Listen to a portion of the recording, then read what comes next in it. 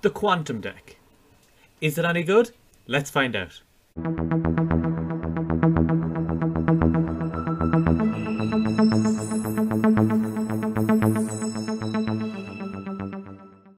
Hey everyone, welcome to the very first Deceive Reality Magic Review. And what better product to start with than the Quantum Deck by Craig Petty, which is something that everybody's been talking about lately. And I pre-ordered it. I actually pre-ordered two, one from Penguin and one from Alakazam. Alakazam got here first. So I'm going to be reviewing the Quantum Deck. We're going to go break it down, a few different sections. So let's get started with what do you actually get if you order the Quantum Deck by Craig Petty. So, you're probably wondering what you get if you order Quantum Deck. Well, this, as you might have seen already, is the packaging. So this is how it comes, which is really nice. It's got a little sliding feature here and your deck will be inside. So the deck comes in this really cool white clear box. So there's no real markings on it, just says that it's made by the US Playing Card Company. That's it, super cl clean and clear. And what I really like about it is it actually goes really well with the Eclipse cards that you get if you were to buy uh, the Eclipse by the 1914. I think these could look really cool together if you're performing. Having the two of them in your pocket together could look really cool. So this is the main thing you get when you order the Quantum Deck. So inside the packaging as well, you also get on the back, you will get your instructions, which is a link to the Murphy's Magic website, and of course the password, which I won't be showing you.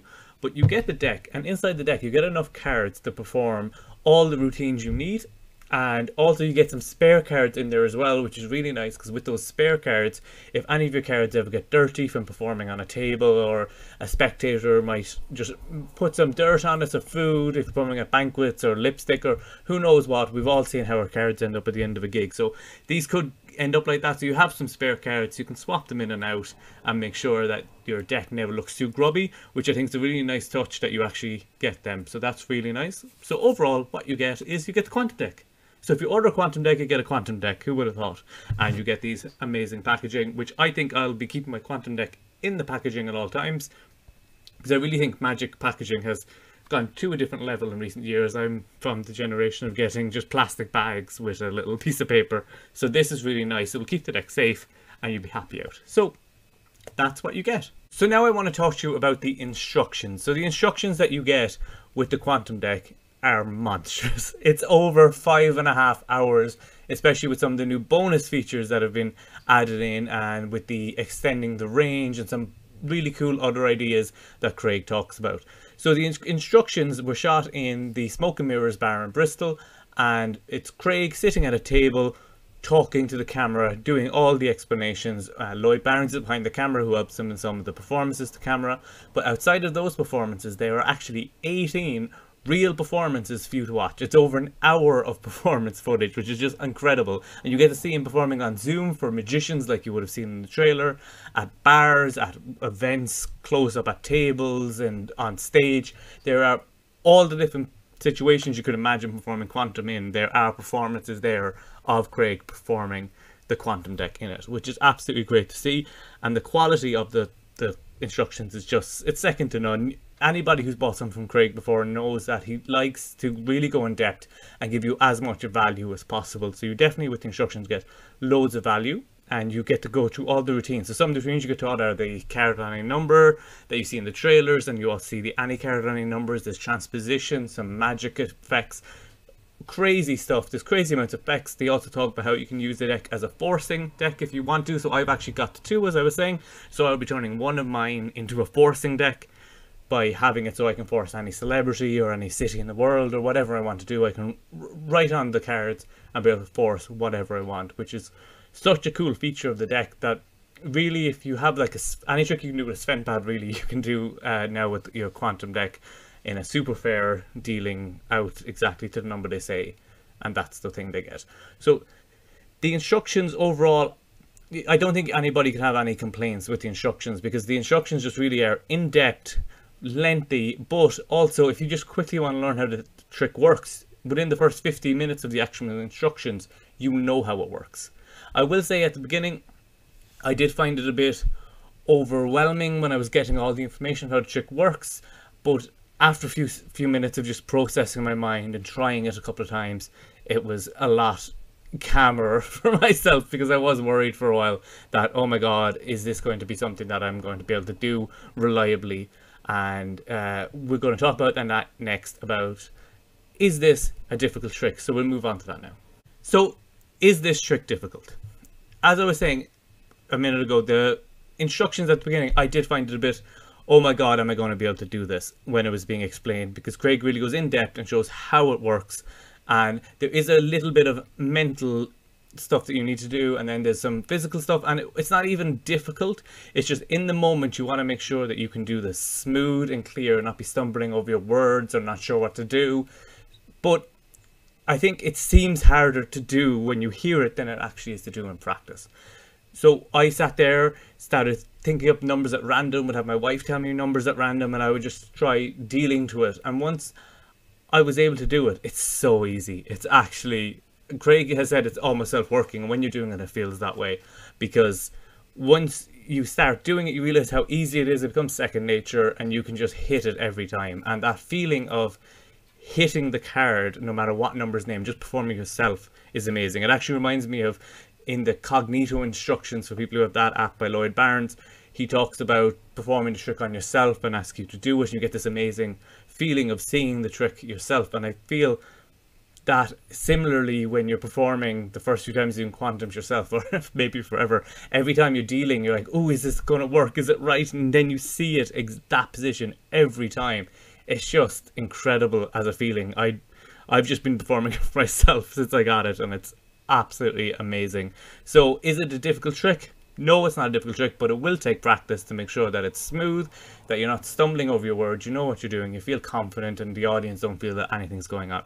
So, like any trick, you should practice it, but on a scale of difficulty, I'd say this is right down there. If you can do any sort of basic magic, you can do this. If you if you're using like a Svengali pad or a stripper deck or anything, even the, the basics, you can do it. With just a little bit of practice, you'll be flying through it. So definitely not a difficult trick. So, for those of you who have watched the Deceive Reality podcast, and if you haven't watched the Deceive Reality podcast, watch the Deceive Reality podcast. It's on YouTube on this channel and also on all the audio platforms. But I have a co-host, Steve Spade. So Steve and me have very different methods of buying magic. Steve is very precise in what he buys and wants to know that the stuff he's buying will work for him 100%. I tend to buy a ridiculous amount of magic because it's an obsession. I want to know as much as I can at all times. So I probably have the biggest bottom drawer in Magic. But whenever I buy a trick, Steve always asks me the same questions about the trick. So I have these questions here that he also was asking me about uh, the quantum deck. So I'm going to go through it and we'll see what these questions are. So the first question is, will I do it? So that's a question that I think everybody wants to know when you buy a trick is, will you do it? So for myself, I'll definitely be performing Quantum Deck. I will be performing it a lot. I will be performing it often. I will be performing it close up. I will be using it on stage, in comedy clubs, everywhere. It's definitely, I'm going to be buying a lot of these because I'm going to be using it a whole lot. Second, are you happy with your purchase? So yes, I am because I will be buying it again. I think it's quite good value, especially when you look at all the instructions that you get with it, that you can use it, and it's uh, so much work has gone into the deck that's perfect once you get it, and it's, it's just ready to go, which is really good. I do um, th think that it's something that maybe going down the line, I do hope that they are refills or that you can buy them in bulk or things like that. Cause I think a brick of quantum decks would be absolutely amazing. So that's something that going down the line, I hope they have, but right now I'm definitely happy with the purchase. The other question is, should Steve get one? So me and Steve perform similarly, but we have our differences. I do a lot more mentalism than Steve, and Steve does a lot more classical magic and escapes and that side of things. So I think this, uh, it's a tool rather than a trick, would suit everybody. Even on the instructions, Craig talks about how you can perform this for kids and how you can do routines for at weddings and corporate events and there's so many different places. This could be i can't think of any magician who really who couldn't find a use for quantum deck i feel like i'm overselling it now but it, it's it's it's it's a tool that you see in the trailer that it's a card at any number but this could be anything that you want.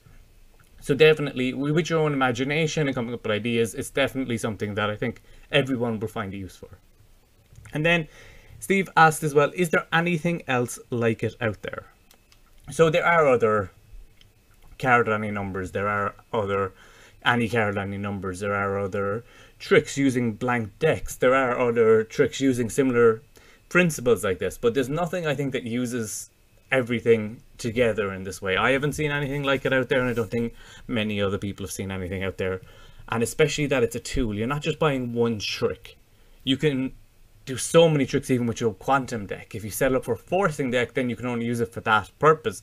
But with just a normal quantum deck, you can do so many different routines with the same deck over and over again, be killing it. So it's definitely one of those things that I don't think there's anything like it out there at the moment, but it's going to just be something that I think every magician is going to have one at least of going forward. So those are the answers to Steve's questions, and now we're going to talk about frequently asked questions. So we move on to that. So, frequently asked question. For this one, I think this time instead of frequently asked questions, it's going to be frequently asked question. Because there's only one question that I've seen pop up on the Magic Cafe and Facebook and forums everywhere, and that is, can the deck be examined? Now, I've seen Craig answer this loads of times, showing full performances where he just hands the deck to magicians, hands the deck to lay people, and definitely, I definitely think this deck is examinable. 100%.